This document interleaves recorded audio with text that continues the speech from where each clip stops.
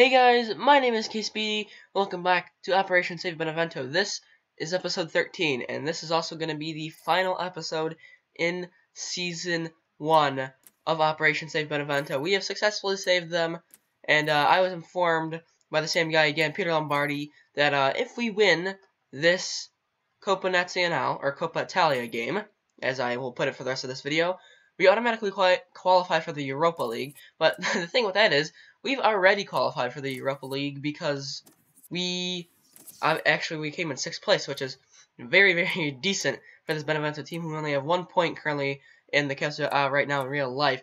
So this is going to be our team. We're only playing one game this episode, and then we're going to be doing a review on the season. So now let's get into this Coppa Italia game the League Cup game uh, up against Torino. We've lost against them previously, and we've drawn against them previously. So let's see if we can make it 1-1 and 1 with a win in the final. Torino do also have the top scorer in the competition. It's Le. I have no idea how to pronounce it. It's Lejajic. Then I have another player on uh, four goals. Lejajic is on seven. So we're really going to have to watch their attack. So this is our strongest lineup apart from our center mid in terms of rating, obviously. This is the team that I prefer to play with. So we got Armenteros, Iemmello, Ciciretti, Cataldi, Memushaj, Hakimi, Gibson, Costa, Letizia, Lazaar, and Sorrentino, or bench Coda, Chibsah, Lombardi, D'Alessandro, Antei, Venuti, and Brignoli, who obviously scored the goal in real life to tie Benevento at their very first ever point in the Calcio A. And then this is what our reserves are looking like. The freaking bane of my existence, Belec. We got Puscas, De La Rosa, Viola, Pergini, City, Gravillon, Di Chiara, Canute, Malara, Giemfi, Del Pinto, Piscatelli, and Brignola. That is our final squad going into this Coppa Italia game up against Torino, so let's go and do it.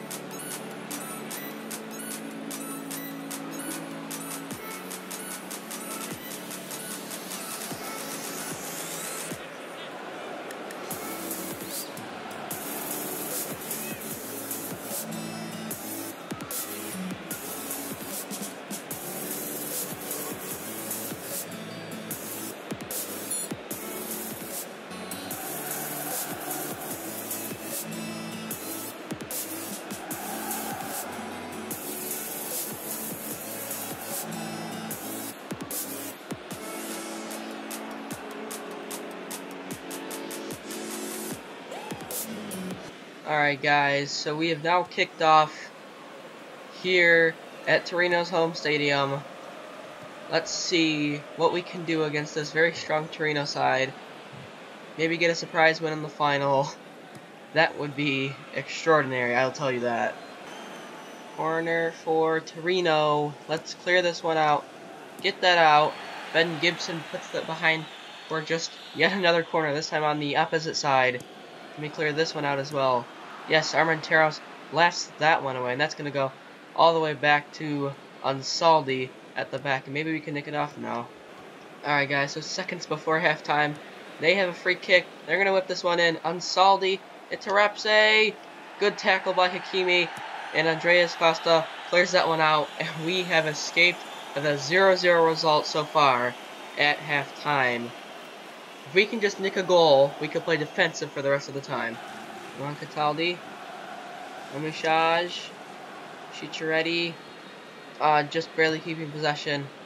Let's go out wide to Lazaar. Back to Memushaj.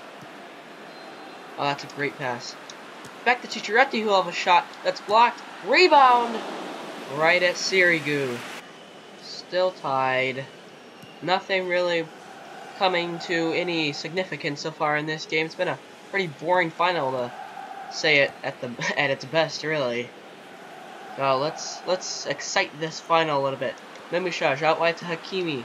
Hakimi whipping that ball, looking for Armenteros. Iemmello keeps it. Iemmello shoot. No. Should not have taken that extra touch. Should have just let that uh, go and taken a shot. We still have the ball though. Iemmello can get there. And he can. Oh. What is that defending? What is that defending? Cataldi right at Sirigu again. Full time is upon us. Nothing has happened in this final. There's been quite a few chances, and we just gave away the ball just like that. Full time. Still haven't made any subs, so that's good. So we're going to take our three subs into extra time, see if we can nick a winner, or this might go to penalties, and then it's all up to luck. Okay, still cycling the ball. Yes, there we go. That's good. Ciciretti gets shoved off the ball. Lazaar wins it back, and FIFA logic says no. Final two subs coming on now. We got D'Alessandro and Lombardi. I did make a switch at the beginning of extra time. That was Chibsah for Memushaj, but I guess that didn't show up. So we've used up all three of our subs now. Titsia, find that ball. Yes, Cataldi. Drive forward, Cataldi. Chibsah. Chibsah out wide. To D'Alessandro, the substitute. The shot! Sirigu again with the save. He's been unbeatable today. Let's see if we can get a goal off the corner. Nope. That's headed away. Now they can counterattack with Belotti. And this doesn't look very good. Is Andrea Belotti. Oh, yes, very good win. And for some reason, that's a free kick. Cataldi. Look at the run of Lombardi. Come on, Cristiano Lombardi. Get there. Oh, he's so weak. He's fast, but he's very weak. Niang. Oh, yes. Very good by D'Alessandro. Stoppage time of extra time now. Armenteros. Out what? What was that ball by Armenteros? But we win it back through Emelo. Emelo. To Lombardi. Lombardi. Cross in. It's for Armenteros! Oh my god. No way. What a save from Sirigu. Look at this ball. Great header. What a save. Come on. Cataldi looking for Ciciretti. Costa on the top of the box. Cristiano Lombardi gonna hit one. Another save from Sirigu. Okay, we have another corner. We have no time. Just go. Cataldi, open in the box, looking for Ciciretti again. Why is Ciciretti being the target man on the corners? He's like 5'7". Oh god, I was hoping that it didn't come to this. We're going to a penalty shootout now. Alright, so it looks like Torino will be shooting first in this Coppa Italia final. Come on. Let's go, Sorrentino. Let's go, Sorrentino. Okay, he puts it right down the middle. Iemmello. Where's Iemmello gonna go? Iemmello. Yes, good penalty. Right in the bottom corner, finesse shot. Come on, Falque. You can't get past the wall of Italy. Stefano Sorrentino. Oh my god, I went to the left, but I didn't even need to save it, because he literally just skied that. Alessandro. Oh, come on! Right when we could have scored and put the game to bed eventually. Oh yes, Sorrentino saves it! That is a huge save! Two penalty misses in a row for them. Ciciretti, right down the middle. Yes, good penalty, Ciciretti. Come on, we're so close. We're so close to winning this final. First ever trophy in Benevento's history, potentially. Oh, and Yang chips it. Okay, Taldi, come on. History in the making. No, Sirigu, why? Why? We're all level again. Baron Guer. Oh, that's a good penalty. We need to score now. We need to score. Armenteros. Yes, good penalty. Not really, though. That was an awful penalty. Itarapse.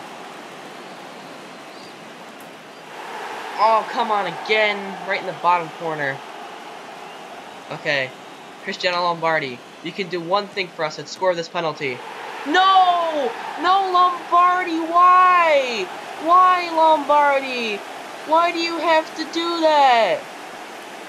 Oh my god.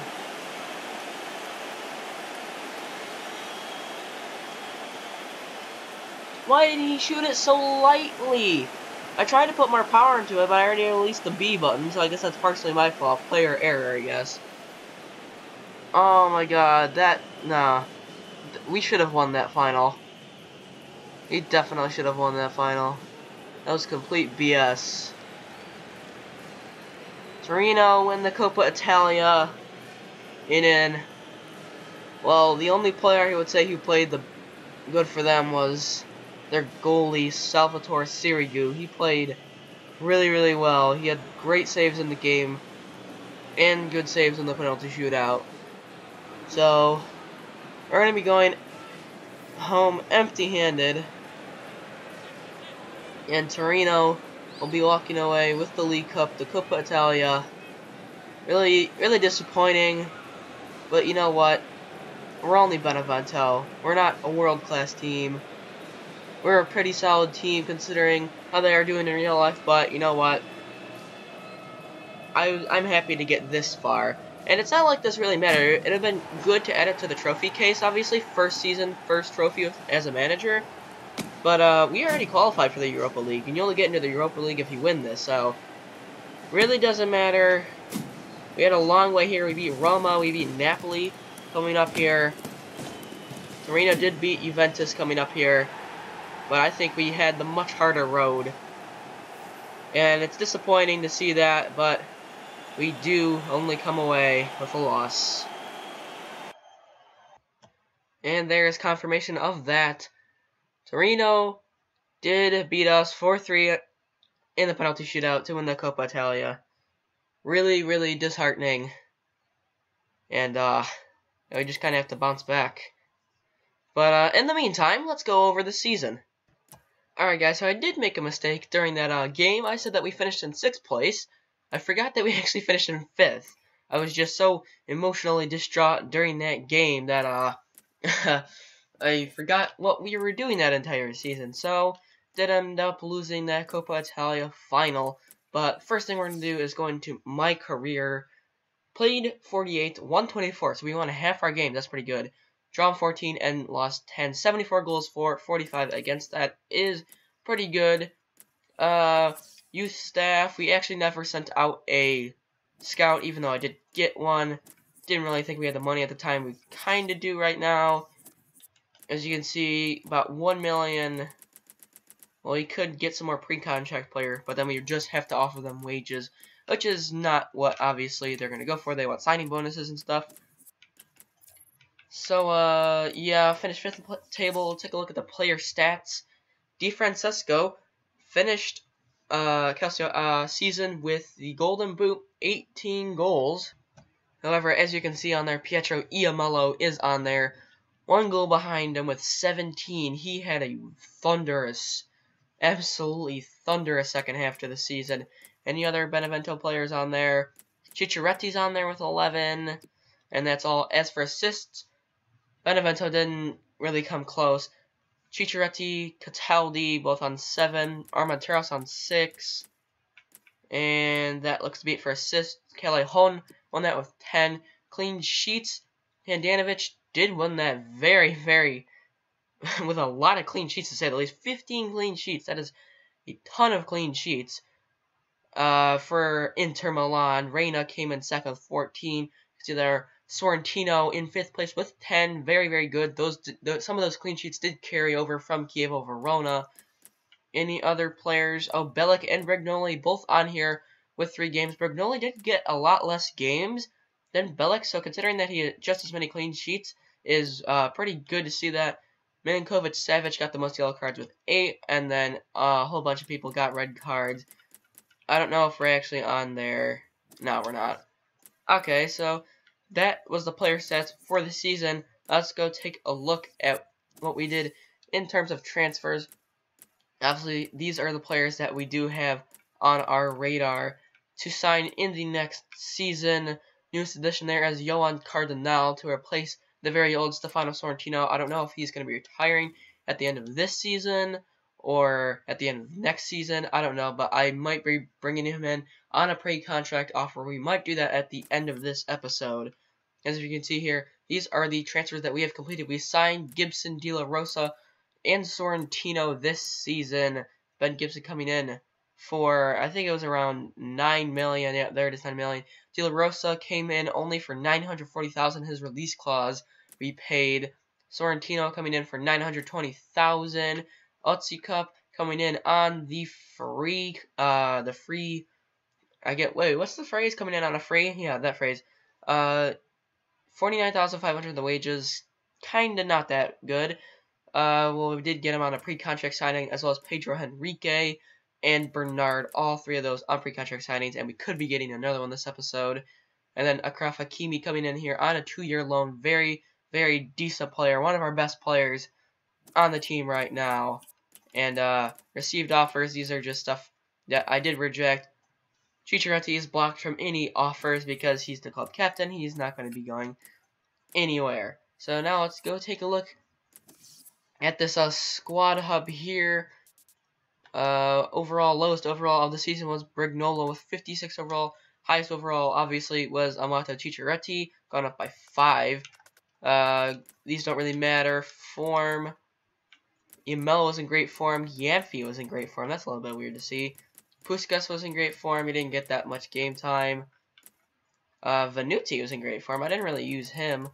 Uh, let's see who was the happiest on the team.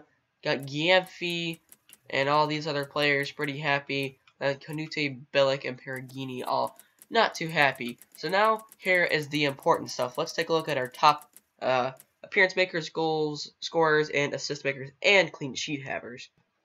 As for the most assists, it is a it is a tie between Amato Ciciretti and Andrea Costa for 42 appearances. Cataldi, Gibson, and Lazaar coming in on 41, very close.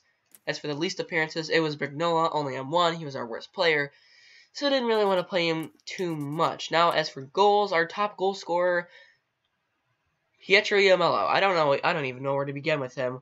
I feel like we have to bring him as well as Danilo Cataldi back into the club on permanent transfers for the next season because they were just way, way, way too good to just let go on loan deals. So top goal scorer Iemmello was Ciciretti for the majority of the season until Iemmello just broke out, started destroying everything. Armenteros on 10, and then nobody else really got close to that. Top assist makers, Ciciretti and Cataldi tied on 7. It was Cataldi for most of the time, so the fact that Ciciretti came up in an assisting role is always good to see. Armenteros on 6, Hakimi on 5, and then Iemmello on 5 as well.